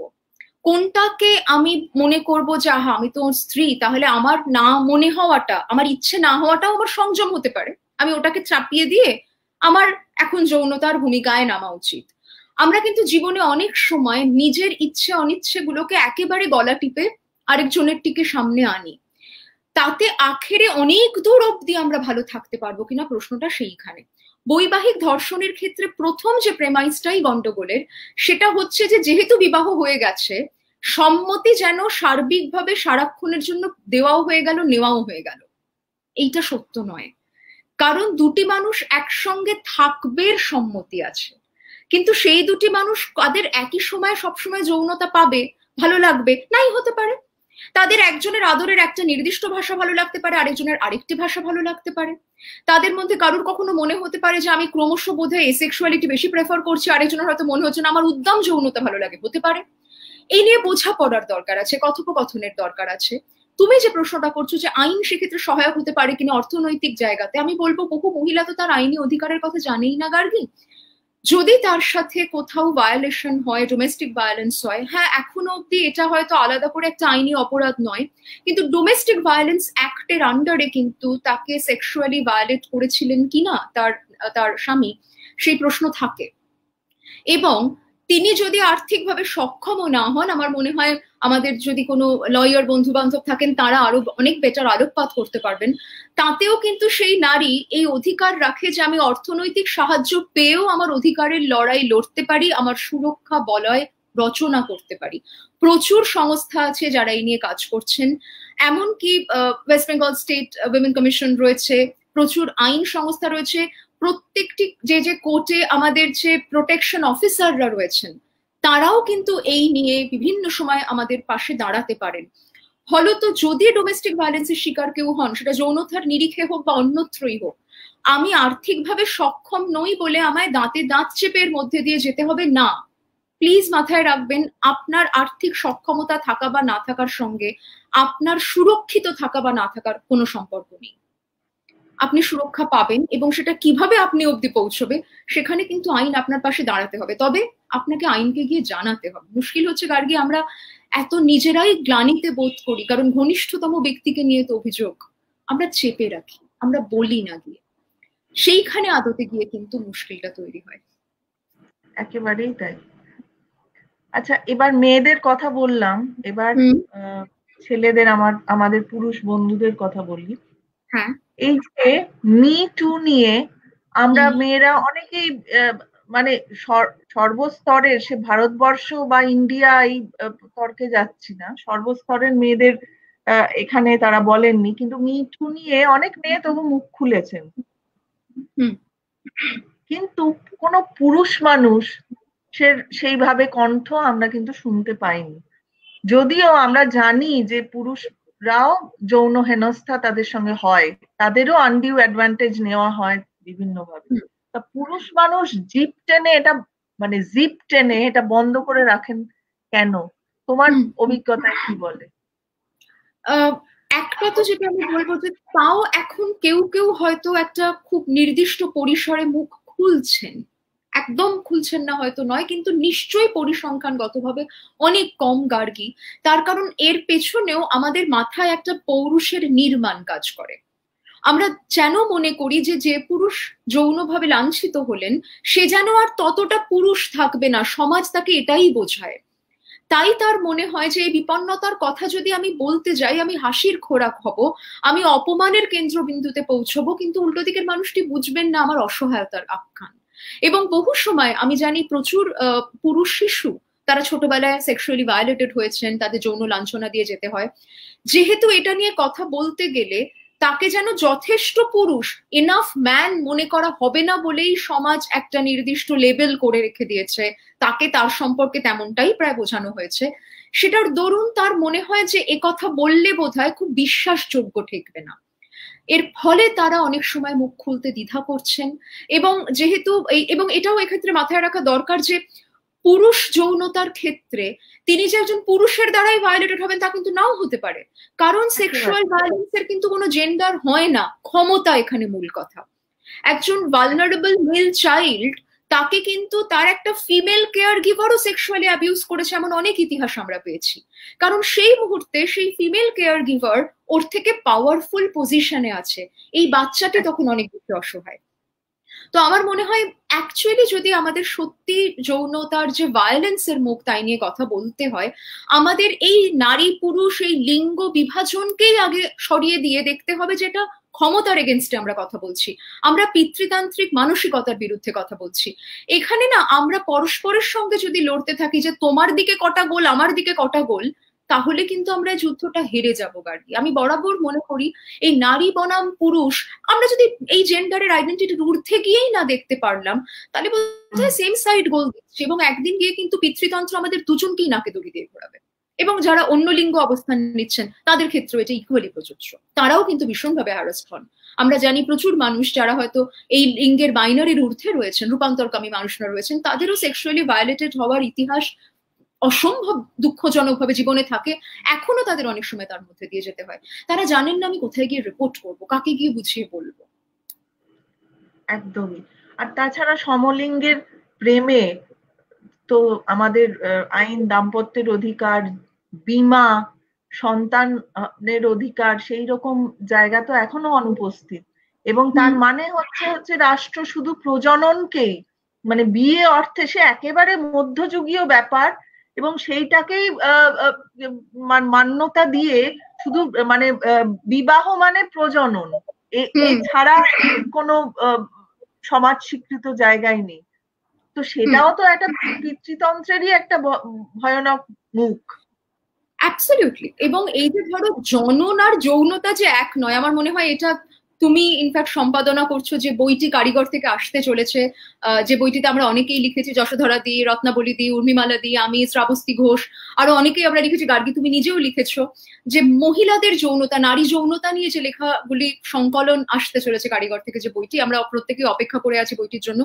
এই বইটি এক্ষেত্রেও খুব গুরুত্বপূর্ণ, গার্গী, তার কারণ জনন কার্য আর যৌনতাকে যদি আমরা এক করে দেখি আমরা তো ব্যাং নই যে আমরা ছোটবেলায় যেরকম পড়েছিলাম ব্যাঙের জননতন্ত্র এটা তো প্রায় একটা ফিজিওলজির বইতে পড়া জিনিসপত্র মনে হবে। আমরা তো তা নই এর মধ্যে তো আরও অনেক কিছু আছে। এটা তো শুধুমাত্র জেনিটাল নয়। এর মধ্যে আমাদের আরও অনেক ব্যক্তি সত্তার জায়গা রয়েছে এবং সেখানে এই যে তুমি প্রশ্নটা করছ সমলিঙ্গের সম্পর্ক সমলিঙ্গের সম্পর্কের মধ্যে মানুষের এই যে একটা ভীতি যে যেন আমার সন্তান সমলিঙ্গের সম্পর্কে না যায় ওর তো একটা ভবিষ্যৎ আছে, আমাদের পরিবারের তো একটা ভবিষ্যৎ আছে। ভবিষ্যৎ মানে কি শুধু বংশানুক্রমে এগিয়ে যাওয়া? ভবিষ্যৎ মানে কি একটি নির্দিষ্ট পরিবারের গোত্রের ধারাবাহিকতা? আমার মনে হয় এই প্রশ্নগুলোর মুখোমুখি দাঁড়ানো দরকার আছে এবং বিয়ের ক্ষেত্রে আমি যেটা বলব, এমন অনেক জেন্ডার সেক্সুয়ালিটি অ্যাক্টিভিস্ট রয়েছেন যারা ব্যক্তিগতভাবে বিয়েতে বিশ্বাস করেন না গার্গী আমার মনে হয় এক্ষেত্রে আমরা যখন বিয়ের অধিকারের কথা বলছি আমি অন্তত ব্যক্তিগতভাবে এটা মনে করি আমি মনে করি অধিকারটা থাকবে না কেন? কে অ্যাভেল করবেন কি অ্যাভেল করবেন না সেটা পরের কথা। একজন সমলিঙ্গী মনে করতে পারেন যে আমি বিয়েতে বিশ্বাস করি না আমরা এর পরেও লিভ ইনই করব। কিন্তু তুমি আমায় রিজেক্ট করার অধিকারও তো দাও। তুমি একজনকে দেবে আরেকজনকে দেবে না এই দ্বিচারিতা তো হয় না। এইখানে তো তুমি বৈষম্য। তৈরি করছ। তাহলে যদি মানবাধিকারের কথা বলতে হয় বৈষম্যের বিরুদ্ধে বলতে হয় তাহলে যদি সম অধিকারের কথা বলি কেন সমলিঙ্গ বিবাহের কথা আমরা বলব না? সেইখানে প্রশ্ন তো উঠবেই। একেবারে। আচ্ছা বলি যে এই যে তুমি তোমার বইয়ে লিখেছো যে যে কোনো মানুষ যেটা আমরাও আলোচনা করছি নিজের শর্তে সে ডাবল হতে পারে বা প্লুরালও হতে পারে কোনো মানুষ। কোনো একটা বিবাহ সম্পর্কের মধ্যে, সেই কোট আনকোট আমাদের বিয়েতে ফেরত যেতেই হচ্ছে, বিবাহ সম্পর্কের মধ্যে থেকেও এই প্লুরালিটি কতটা গ্রহণযোগ্য? দেখো, এটা খুব সারাক্ষণ একজন মানুষের কাছে কাঙ্ক্ষিত হবে এমন নাও হতে পারে, গার্গী। ইনফ্যাক্ট এটা নিয়ে কিছুদিন আগে আমার রত্নাবলীতে একটি অনুষ্ঠান হয়েছে, অনেক মানুষ তাতে তাদের প্রশ্ন নিয়ে এসেও ছিলেন। অঞ্জলির উদ্যোগে একটি অনুষ্ঠানে আমরা এটা নিয়ে কথা বলছিলাম। এই যে একটা, একজন মানুষ সিঙ্গল হতে পারেন একজন মানুষের জীবনে একজন পার্টনার থাকতে পারেন, একজন মানুষের জীবনে দুটো তিনটি সম্পর্ক সমান্তরাল অবস্থান থাকতে পারে। এবার আমার মনে হয় এটা নিয়ে না অনেক ডায়লগের এবং বোঝাপড়ার প্রয়োজন রয়েছে আর কি তার কারণ আমাদের, আমি একজনের সঙ্গে সম্পর্কে আবদ্ধ থাকব আর কারুর প্রতি আমার প্রেম হবে না, এমনটা আমরা নিজেকে বোঝানোর চেষ্টা করতে পারি। তার বাস্তব মুখ হবে কি হবে না আমরা কেউ জানি না। ইনফ্যাক্ট একটু আগে লিপিকার প্রসঙ্গে যেটা বলছিলাম, লিপিকা লিখছিলেন, খুব সত্যি কথা যে আত্মসংযম, একজন বলতেই পারেন যে আমার যদি প্রেম হয়, আমি সংযম করব। বলতে পারেন, সেটা তার টেক আবার আরেকজন মানুষের মনে হতে পারে যে আমার প্রেমিকা আরেকজনের সঙ্গে রাস্তায় গিয়ে প্রেম করল কিনা বড় কথা নয়, তার মাথায় আরেকজন মানুষের ছবি আসবে কেন? যদি এসে থাকে আমার কাছে, সেটাও কিন্তু আরেকজন মানুষের সঙ্গে তার সহবাসান এমন কথাও উঠতে পারে। তাহলে সংযমও ঠিক কোথায় গিয়ে সংযম বাস্তবিকভাবে সম্ভব আর নয় এটাও তো আমাদের ভাবতে হবে। তাহলে প্রেম সম্পর্ক, সম্পর্কের তকমা তকমা সমাজ দেয়। প্রেম, আমি কার সাথে অ্যাটাচড হব? এক্ষেত্রে কিন্তু আমাদের আদতে শুধু তকমা নির্ভর জীবন কারুরই নয়। সেখানে আমাদের জীবনে নানান মানুষের নানান প্রেক্ষিতে অবস্থান থাকতে পারে। আমার মনে হয় সেখানে একটা সম্মানজনক বোঝাপড়া যদি থাকে, নিজের কাছেও, আমি যাদের সঙ্গে সম্পর্কে লিপ্ত আছি, তাদের প্রতিও। সেখানে একটা দায়িত্বর জায়গা থাকতে পারে কর্তব্যের জায়গাও থাকতে পারে। এবং এভাবে যদি আমরা দেখি গার্গি যে আমরা তো ছোটবেলা থেকে যখন বড় হই মাকেও ভালোবাসি বাবাকেও ভালোবাসি। তাই নিয়ে তো দ্বন্দ্ব হয় না। এটাই তোমাকে আমি জিজ্ঞেস করতে চাইছিলাম। ধরো একটা বিবাহিত সম্পর্কের মধ্যে থেকেও ভালোবাসার তো অনেকগুলো জায়গা হয়। সেই জায়গাটা কেন মানে মনে করি আমরা আমার জায়গাটা চলে গেল। আমার জায়গাটা তো আমার কাছেই থাকবে। আর একজন মানুষকে ধরো আমি অনুত্তমাকে ভালোবাসলাম আমার কি রত্নাবলী দিকে ভালো লাগার কোনো অধিকার নেই? বা আমার কি অন্য একটি লিপিকা তার সঙ্গে আমার কোনো আলাদা আলাদা তো সম্পর্কগুলো? তাহলে ভালোবাসার ক্ষেত্রে তাহলে এটা কি ভালোবাসা না এটা আমার অধিকার গেল গেল ভাব? মানে এই জায়গাটাও তো একটা গন্ডগোলে ভীষণ জায়গা। খুব এখানে দুটো দিক আমার মনে হয় হয়তো কার্যকরী হয় গার্কি একটা হচ্ছে একটা সামাজিক তকমা, একটা ইনস্টিটিউশন বিবাহ, তার কিছু নিয়মাবলী, যার পেছনে একটা আর্থ সামাজিক কারণও আছে। যে একজন মানুষের যদি অনেকগুলি বিবাহ থাকে বা বিবাহ নাও থাকে, অনেকগুলি সম্পর্ক থাকে, তাহলে তার পরিবারের যে সম্পত্তি বা তার অর্জিত অর্থ, তার বন্টন কি হবে? যে জায়গা থেকে কিন্তু আমাদের এত স্ট্রাকচার্ড ভাবে সম্পর্ক, বিবাহর এই ইনস্টিটিউশনালাইজেশনের ইতিহাস যদি আমরা দেখি, তো এটার একটা ঐতিহাসিক দিক এইটা, একটা। কিন্তু আমি যদি এবার একেবারে মানবিক দিক থেকে দেখি, আবেগের দিক থেকে দেখি, আদতে আমরা সবসময় একটা এক্সক্লুসিভ সংলাপই ফর্ম করতে চাই গার্গি। বহু সময় আমার মনে হতেই পারে যে তুমি আমাকেও ভালোবাসবে নয় তুমি আমাকেই ভালোবাসবে। এইটার একটা তাগিদ আমাদের মধ্যে খুব দৃঢ়ভাবে থাকে। এবং সেখানে যখন আমরা দেখি যে একজন সম্পর্কে আমি আমি তাকে ভালোবাসছি কিন্তু আরেকজনও এসে উপস্থিত হয়েছে, আমরা এটা ভাবতে পারি না যে ও কিন্তু আমার ভালোবাসাটা আমাকেই দেয়। অন্যকে যেটা দিচ্ছে সেটা অন্য এক ধরনের ভালোবাসা। এই যেটা বলছিলাম যে বাবা মার সঙ্গে আমাদের ভালোবাসা নিয়ে তো বিরোধ হয় না বা ধরো কারও যদি তিনটি ভাই বোন থাকে বা তিনটি বোন থাকে ভাই থাকে বা যাই হোক তার তো মনে হয় না যে আমি তিনজনকে কি করে ভালোবাসছি? একই ধরনের ভালোবাসা তো। কিন্তু আমাদের প্রেমের ক্ষেত্রে এটা হতে থাকে কারণ এখানে সেক্সুয়ালিটিও জিনিসটাকে কমপ্লিকেট করে দেয়। যৌনতা ইটসেলফ একটা অধিকার বোধের গল্প তৈরি করে দিতে পারে। যৌনতার মধ্যে আমি যখন যাব, আমার মনে হতে পারে যে আমিও ওকে স্পর্শ করব, আমাকে স্পর্শ করবে, এর বাইরে আর কোনো স্পর্শ হতে পারে না। বৈশাখী লিখছেন, সমান্তরাল অন্তরঙ্গতে। ইনফ্যাক্ট একটা আলোচনাতে আমি আর রত্নাবলী এই শব্দ বন্ধটাতে উপনীত হয়েছিলাম। থ্যাংক ইউ বৈশাখী মনে করিয়ে দেওয়ার জন্য। অ্যাকচুয়ালি এই সমান্তরাল অন্তরঙ্গতায় মানুষ অনেক সময় প্ল্যানফুলি পৌঁছচ্ছে না। এমন অনেক মানুষের সাথে আমি অভিজ্ঞতায় পেয়েছি তাদেরকে নিজের জীবনেও অনেক সময় দেখেছি। এমন নয় যে আমরা যুক্তি দিয়ে প্ল্যান করে আজ থেকে আমার জীবনে আরও তিনজনও থাকবে এমনটা হয় না। কিন্তু যখন সেটা ঘটে গেল তখন আবারও সেই সত্যের সাথে সেই অভিজ্ঞতার সাথে আমায় তো একটা নেগোসিয়েশনে আসতে হবে গার্গি। এবং সেটাকে আমি কতটা স্বাস্থ্যকর সুষ্ঠু নেগোসিয়েশনে আনব নিজের সঙ্গে এবং আমার উল্টো দিকে যে মানুষরা রয়েছেন তাদের সঙ্গে। হয়তো সেখানে আমাদের আরও অনেক কিছু করণীয় থাকে সেখানে কিছু জটিলতাও যেমন থাকবে ঠিক তেমনি তারও কিছু নিজস্ব প্রয়োজন বোধ হয়তো তৈরি হয়ে যায়। আচ্ছা আমরা অনেকক্ষণ অনেক এই ধরনের বিষয়গুলো খুব ভারী ভারী বিষয় যদিও তুমি খুব সহজ করে বলেছ খুব ভালো লেগেছে। এবার একটু মজার ব্যাপারে ঠিক মজা নয় মজা মজা। সেটা হচ্ছে ভূতের ভয়। এই যে হ্যাঁ। ভূতের ভয় একটা ছমছমে বলে একটা প্রবন্ধতে লিখেছো এই যে একটা আদারাইজেশন আমার নিজের যেন তো একটা ভয়ঙ্কর মাকড়সার ভয় আছে। মানে যে ঘরে মাকড়সা থাকবে সে ঘরে আমি নেই। অথচ ওই ছোট্ট একটা ব্যাপার। সেরকমই এটা কিরম অদ্ভুত একটা এইটা এইটা কোনো শিশুর পক্ষে কিন্তু স্বাস্থ্যকর নয়। তবু হয়ে থাকে। তো সেটা ব্যাপারে তুমি যদি একটু বলো।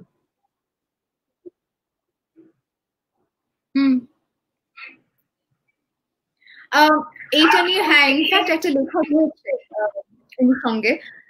এবং সেই লেখাটি আমার একটা ক্লিনিক্যাল অভিজ্ঞতার নিরিখে আমার একটু উপলব্ধি সেখান থেকে লেখা। আমি একটা জায়গা বলতে চাইব ভূতের ভয় নিয়ে, গার্গি। ভূতের ভয় সত্যি কিন্তু বাচ্চারাই যে শুধু তা পায় তা নয়। আমি এমন অনেক মানুষকে জানি, আমার বন্ধু বান্ধবদের মধ্যেও জানি, আমার কাছাকাছির গন্ডির মধ্যেও জানি, যারা বলবে, আমি ভূতে বিশ্বাস করি না, কিন্তু ভয় পাই। এই যে আমি আছি একটা উদাহরণ। আমি যখনই আমি জানো একা থাকলেই আমাকে আলো জেলে ঘুমোতে হয়। মানে হয়তো বলব মানে এখন আজকে সবার সামনেই বলছি ভূতে বিশ্বাস করি না কিন্তু ভূতে ভয় পাই মানে আমি এক্সাম্পল এক্স্যাক্টলি এবার এইটা কিন্তু তুমি একা নাও, গার্গি, আমি তোমাকে এটা অ্যাসিওরেন্স দিতে পারি। প্রচুর মানুষ এক্স্যাক্টলি এটা বলে যে, ভূতে বিশ্বাস করে না, কিন্তু ভূতে ভয় পায়। আপনি আমাকে এখন সকালবেলা আলো জ্বলছে, একসাথে আমরা আড্ডা মারছি, ভূতের গল্প হচ্ছে টচ্ছে, তোর কখনো জীবনে অভিজ্ঞতা হয়েছে, এসব হচ্ছে টচ্ছে। একা যদি রাত্রিবেলা এরপর আমায় ঘুমোতে যেতে হয়, কেলোর কীর্তি। বহু মানুষের কিন্তু সে অভিজ্ঞতা হয়েছে। এখানে যে প্রবন্ধটির কথা তুমি উল্লেখ করলে, অনুসঙ্গতে রয়েছে, সেখানে ভূতের ভয়ের পেছনে কি মনস্তত্ত্ব, তাই নিয়ে কিছু বিশ্লেষণ রয়েছে। আমি একটু এখানে অল্প ছুঁয়ে যাব সে জায়গাটা। যেটা এক্ষেত্রে আমি বলতে চেয়েছিলাম, সেটা হচ্ছে ভূতের ভয়ের সাইকোলজিক্যাল ব্যাখ্যা যা, তা হলো আসলে আক্রান্ত হওয়ার ভয়। আমি হঠাৎ অ্যাব্রাপ্টলি আক্রান্ত হব। তুমি খেয়াল করে দেখবে, ভূতের যে সিনেমাগুলো আমরা দেখি, বা এখন যে সিরিজগুলো দেখি সেগুলোতে আমরা কোন কোন মোমেন্টে অ্যাকচুয়ালি চমকে উঠি, যখন একটা হঠাৎ কিছু হয়। একজন ঘরে বসেছিল বলে হঠাৎ একটা আওয়াজ হলো, হঠাৎ একটা কিছু ঘটে গেল। এই প্রত্যেকটা হঠাৎের মধ্যে, এই চমকের মধ্যে আদতে আমাদের খুব আনন্দ থাকে না। এমন একটা কিছু ঘটছে যেটা কেন ঘটছে আমি বুঝতে পারছি না একটা ভয় রয়েছে। অর্থাৎ আমার একটা সেন্সেশন হলো সেটা কোথা থেকে সেই সোর্সটা আমি বুঝতে পারছি না, যদি হয় আমার তাই নিয়ে একটা উচাটন চলবে। দুই যেটা ঘটতে থাকে, আমার মনে হতে পারে এবার আমি কিন্তু নানানভাবে আক্রান্ত হতে পারি। এই আক্রান্ত হওয়ার ভয়ের পেছনে মনস্তত্ত্ব অন্তত বলে, আমাদের নিজের অনেক অগ্রেশনের অভিজ্ঞতার একটা ভূমিকা থাকতে পারে। ধরো, আমার কারোর সাথে খুব কুসম্পর্ক ছিল। আমি হয়তো কারোর সাথে একটা খুব নেগেটিভ র্যাপোতে ছিলাম, তাকে আমি সহ্য করতে পারতাম না। ধরা যাক আমার সাথে আমার কর্মক্ষেত্রে তার ভীষণ দ্বন্দ্ব ছিল। এবার সেই মানুষটি মারা গেলেন। আমার এমন মনে হতে পারে যে এই মানুষটি মৃত্যুর পর শোধ তুলবেন না তো, কারণ আমরা এগুলো পড়ে বড় হয়েছি। আমরা দেখি ভূতেরা শোধ তোলে। ভূতেরা এসে ঘাড় মটকায়, কারণ তার সাথে তার জীবদ্দশায় অন্যায় হয়েছিল। আমরা যুক্তি দিয়ে মানছি না, কিন্তু এই মানুষটি মারা যাওয়ার পর আমরা নিজের সঙ্গে নিজে যখন রয়েছি, আমাদের একটা আতঙ্ক কাজ করছে। কারণ এখানে আমাদের মাথায় একটা সাইকেল কাজ করে। আমি সহজ করে যদি বলি, আমার অ্যাগ্রেশন আমার অ্যাগ্রেশনের দরুন আমার গিল্ট হচ্ছে যে, এই রে, আমি তো ওকে এত রাগ দেখিয়েছিলাম গিল্ট হলেই পরবর্তী অধ্যায় যে আসবে সেটা হচ্ছে ফিয়ার অফ পানিশমেন্ট এইবার আমাকে পানিশ করা হবে। পানিশ কে করবে? ভূত মানেই একটা অমনিপোর্টেন্ট কিছু, সে এবার এসে আমার ঘাটতি মটকাবে। এইখানে যদি আমরা একটা অন্য যুক্তি প্রয়োগ করতে পারি সেটা হলো যে আমি যদি আজ পর্যন্ত এটা দুটো যুক্তি আছে। এক হচ্ছে যে যারা যারা ভূত হয়ে গেছেন, তারা তারা যারা যারা তাদের জীবনে ভীষণভাবে ক্ষতিগ্রস্ত করেছিল বা তাদের সাথে খুব আনফেয়ারলি ডিল করেছিল, তাদের সকলকে গিয়ে একেবারে শোধ তুলেছে এমন তো দেখতে পাই না। তাহলে এত এত রেপিস্ট জেলে বসে আছে কি করে? তার তো মরে যাওয়ার কথা। যারা যারা রেপড হচ্ছেন, যারা যারা মার্ডার্ড হচ্ছেন, তাদের তো ভূতেরাই গিয়ে সমাধান করে দিতে পারতো। দিনের পর দিন কেস চলছে, ওরা আটকে পড়ে আছে কারাগারে এরকম তো হওয়ার কথা ছিল না। এটা একটা, এটা আমার যুক্তি। মনস্তত্ত্বের যুক্তি এটা নয় অবশ্য মনস্তত্ত্বের যুক্তি হচ্ছে, আমাদের নিজেদের নেগেটিভ ফিলিং অ্যাগ্রেশনকে যদি আমরা আবারও ওই ওভারওয়েলমিং অপরাধ বোধ দিয়ে না নিয়ে নিজের মধ্যে একটু মানতে পারি, আমার রাগ হলে রাগ অনেকটা দেখাবো বলছি না, কিন্তু আমার কাউকে ভালো নাই লাগতে পারে, একজন মানুষ তার জীবদ্দশায় আমার সঙ্গে সবসময় সুসম্পর্কে নাই থাকতে পারে, তার তো একটা প্রেক্ষিত ছিল। তা বলে তার চলে যাওয়া মানেই আমি বিভিন্নভাবে আক্রান্ত হতে থাকব।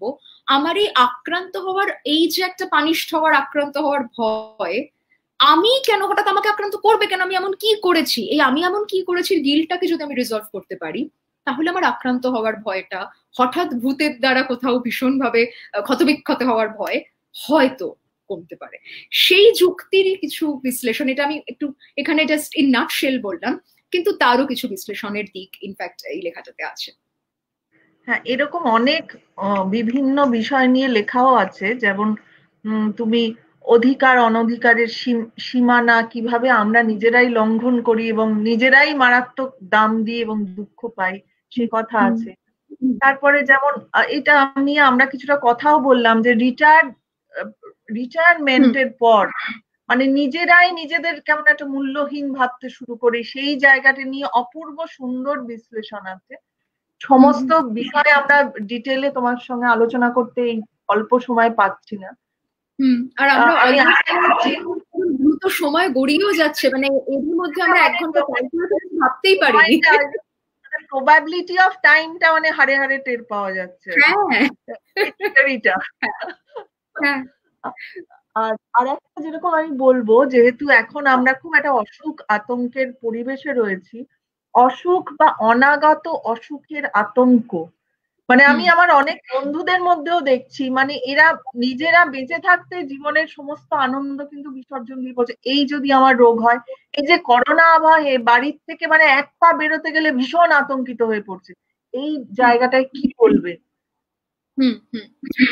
হ্যাঁ আমি যখন এই বইটির আর্টিকেলটি লিখেছিলাম, রোগ ভীতি নিয়ে তখন আমাদের জীবনে কোভিড নাইন্টিন আসেনি। তার অনেক আগে লেখা, কিন্তু এই মুহূর্তে আমি বুঝতে পারছি তুমি যে জায়গাটা থেকে প্রশ্নটা করছ, গার্গি, এটার একটা নিশ্চয়ই আমাদের দৈনন্দিন জীবনে তার একটা প্রভাব তো আমরা প্রত্যেকেই বোধ করছি। যেটা বলার সেটা হচ্ছে, একেবারে যদি আমাদের আজকের প্রেক্ষিতে ফেলে এই লেখাটির দিকে আমরা একটু তাকাই, দেখো, রোগকে আমরা সকলে ভয় পাই। অসুখ ভালো আমরা কেউই বাসবো না।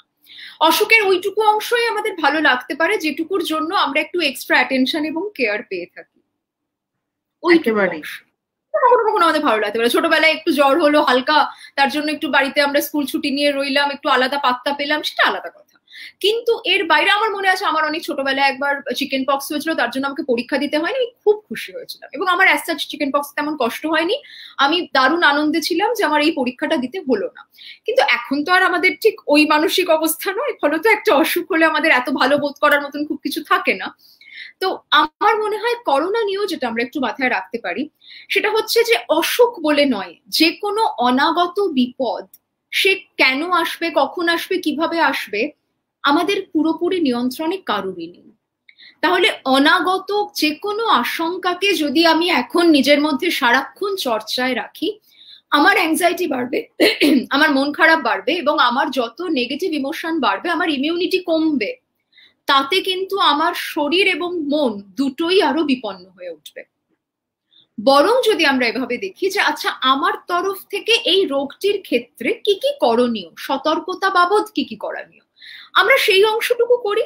এর বাইরের অংশটুকু নিয়ে, যা আমার হাতে নেই, যা আমার কাছে নেই, যা আমার একটা দূরতম তারিখে হতেও পারে, নাও হতে পারে, তাই নিয়ে আমরা আজকে seventh November eight three P M আটটা তিন ঘটিকায় নিজের সবকটি চুল উৎপাটন করিব না।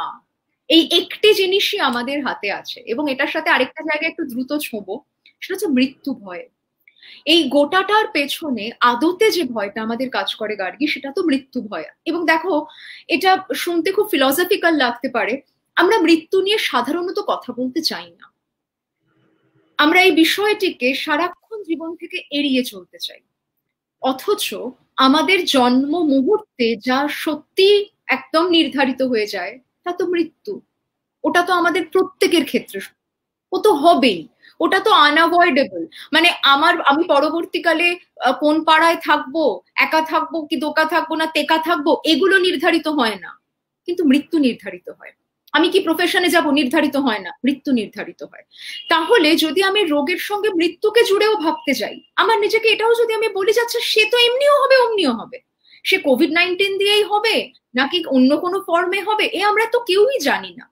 কিন্তু যে অবধারিত, অনিবার্য সেই অনিবার্যতার কাছে তো আমাদের সকলেরই একটা কোথাও মাথা নোয়ানোর জায়গা রয়েছে। প্রতি মুহূর্তে তার চর্চাই বা এখন আছি কেন? এটা জানি যে যখন আসবে, যে ফর্মে আসবে তখন হবে, হয় বুঝতে পারব বা বুঝতে পারব না, বেঘরে যাবে বা ঘরে যাবে, কিছু একটা হবে, দেখা যাবে। আপাতত এটা নিয়ে সারাক্ষণ আমরা যদি খুব উদ্বিগ্ন থাকি, তাতে কিন্তু ওই ইনেভিটেবিলিটিটাও আমরা আদতে এড়াতে পারি না। একদমই।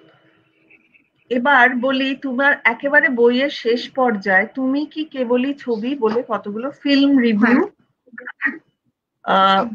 ফিল্ম রিভিউ ঠিক বলব না মানে ফিল্ম বিষয়ে তুমি আলোচনা করেছ।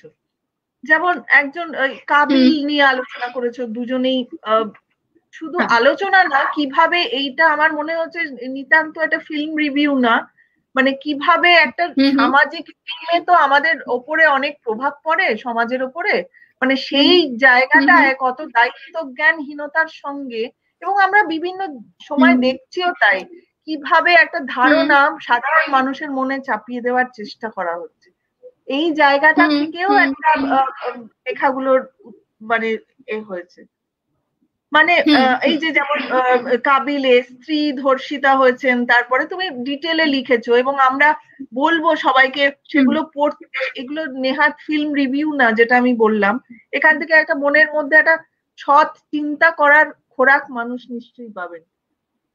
মানে কাবিলটা অ্যাকচুয়ালি আমি খুব গালাগাল দিয়েছি। আমি কাবিলকেও খুব গালাগাল দিয়েছি লেখা লিখেছি আমি বিরেদি ওয়েডিং বলে একটি ছবি এসেছিল সেটাকেও খুব ক্রিটিক্যালি নিয়ে একটি লেখা লিখেছিলাম। আরেকটা বোধ হয় ফিল্ম রিভিউ এখানে আছে ফ্যান আমি নিজে শাহরুখ খানকে খুব পছন্দ করি ফ্যান শব্দটা যদি প্রয়োগ নাও করি। কিন্তু আমি একেবারে বুকে পাথর রেখে এই ছবিটিকে অত্যন্ত গালাগাল দিয়ে একটি লেখা লিখেছিলাম। তুমি একেবারে ঠিক বলেছ গার্গি আমার ফিল্ম রিভিউটুকু উদ্দেশ্য ছিল না। আমি মনে করি আমি নিজে I am a movie buff আমি প্রচুর ছবি দেখি প্রচুর সিরিজ দেখি আমার আমার ছবি দেখতে খুব ভালো লাগে। আমার যে কারণে মনে হয় যে একটা ছবির আমাদের ওপরে একটা বিরাট প্রভাব থাকে। পপুলার মিডিয়ামে যে যে গল্পগুলো পড়ছি যে কবিতাগুলো পড়ছি যে ছবি আমরা দেখছি যে গান আমরা শুনছি তার কিন্তু একটা বিরাট প্রভাব আমাদের মনের ওপর পড়তেই থাকে ছবির বিশেষ করে কারণ একটা অডিও ভিজুয়াল মিডিয়াম তো খুব পোটেন্সিয়াল একটা মিডিয়াম তো সেখানে যদি একটা খুব জাঁকজমকের মনেকে একটা দারুণ দেখতে হিরো একটা দারুণ দেখতে হিরোইন একটা দারুণ দারুণ ব্যাপারের মধ্যে দিয়ে খুব ভুল বার্তা আমরা কনস্ট্যান্টলি দিতে থাকি সেটা খুব ক্ষতিকারক। আমার এই প্রত্যেকটি ছবি রিলেটেড যে লেখা রয়েছে অনুষঙ্গের শেষের দিকে তুমি যেটা বলছিলে, তুমি কি কেবলই ছবি এই চ্যাপ্টারের অন্তর্গত? এই প্রত্যেকটি লেখার মধ্যে কিন্তু আমার ওই প্রশ্নগুলো উঠেছে যে এইরকম একটা দায়িত্বজ্ঞানহীন কন্টেন্ট আপনারা বানাচ্ছেন কি করে আজকের দিনে দাঁড়িয়ে? একটাই এক্সেপশন রয়েছে, যে ছবিটির কথা আমি নিজে সবসময় বলি, এমনকি ডিপ্রেশন বোঝার ক্ষেত্রে আমি বলি, এই ছবিটি আমাদের অবশ্য দেখার দরকার সেটা হচ্ছে দ্য ডেথ ইন দ্য গঞ্জ এই কিন্তু আমি ইনফ্যাক্ট একেবারে একটা অন্য মন থেকে লিখেছিলাম এবং ইনফ্যাক্ট এই ছবিগুলোর যে রিভিউ এখানে বেড়েছে সেগুলো একটি খবরের কাগজে উত্তর সম্পাদকীয় হিসেবেই বেরিয়েছিল এক সময়। তারা যারা এই পেজগুলি দেখতেন, তাদেরও এখানে একটা ভূমিকা রয়েছে, কারণ তারা বলেছিলেন, আমার মনে আছে তাদের দিক থেকেই এই সাজেশনটা এসেছিল যে এটা নিয়ে তুমি একটা কিছু লেখো, একটা মনস্তাত্ত্বিক অ্যাঙ্গেল থেকে। তো সেখান থেকেই লেখা, কিন্তু আদতে কিন্তু এটাকে একটু সত্যি সোশিও সাইকোলজিক্যাল লেন্সে ফেলে দেখা, যে সত্যি কি এটাকে এভাবে আমরা দেখব, নাকি আমাদের এই চিরাচরিত ভাবনার নির্মাণগুলোকে ভাঙতে হবে, বিশেষ করে ছবির জগতেও। অনুত্তমা তুমি বলেছিলে আমরা ঠিক করেছিলাম আর কি এক ঘণ্টার মধ্যে শেষ করব। যদি এই বইটি হ্যাঁ, এক ঘণ্টা পেরিয়ে গেছি। আড্ডার জন্য দশ মিনিট উইন্ডো পিরিয়ড তোমায় দিতেই হবে কিছু করার নেই। তো খুব ভালো লাগল আড্ডা মেরে। হ্যাঁ দারুণ খুব ভালো লাগল এবং তুমি যে এত খুঁটিয়ে পড়েছো। তো সে তো পড়তেই হবে। আমাদের কাজই তো এই নিয়ে পড়াশুনো। এই নিয়েই রয়েছি। আর ভালো লেগেছে খুব ভালো লেগেছে অনুষঙ্গ পড়ে। এবং তোমাকে আমি তুমি এখনও ছোট আরও অনেক ছোটবেলা থেকে তোমাকে চিনি এবং তোমার বই পড়তে মানে পড়ে আমি তোমাকে বলছি এটা অত্যন্ত ভালো লেগেছে খুব ইম্পর্টেন্ট বিষয় নিয়ে লিখেছো ভাষা অত্যন্ত সুন্দর। We are very proud of you এবং থ্যাংকস ফর তো ঠিক আছে। আজকের মতো আড্ডা এখানেই থাক আবার দেখা হবে অনেক ধন্যবাদ। এই প্রশ্নগুলো নিয়ে নিয়ে যারা এলেন তাদেরকেও বলছি অনেক ধন্যবাদ। আপনাদের প্রশ্নগুলো থেকেও আমি আর গার্গি মাঝে মাঝে কিছু সূত্র পেলাম। অনেকে প্রচুর মানুষ দেখেছেন প্রোগ্রামটা তুমিও দেখতে পাচ্ছ। এবং মণিমালা দি লিখছেন দি লিখছেন খুব ভালো লাগল। হ্যাঁ যারা যারা ছিলেন তাদের ধন্যবাদ। আমি আবার কারিগরকে আমার তরফ থেকে আরও একটা বড় ধন্যবাদ। কারণ আমি সত্যিই বলছি, আগেও বলেছি, আমার বইয়ের ভূমিকাতেও এই কথা লেখা আছে যে, কারিগরের উদ্যোগ ছাড়া অনুষঙ্গ সত্যিই বেরোতো না। দেবাশিস এখনও মাঝে মাঝে আমাকে বলতে থাকে, কি আরেকটা গদ্যের বই হবে কি?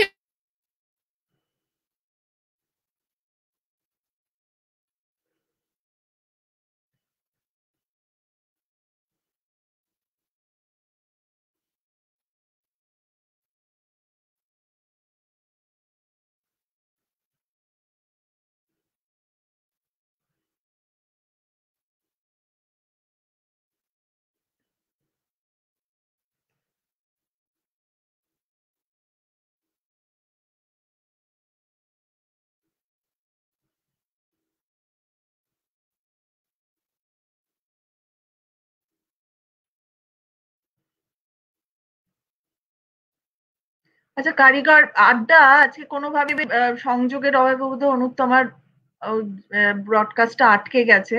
তো আড্ডার শেষে আমরা চলেই এসেছিলাম। সবাইকে ধন্যবাদ। সবাই ভালো থাকবেন সুস্থ থাকবেন। নমস্কার।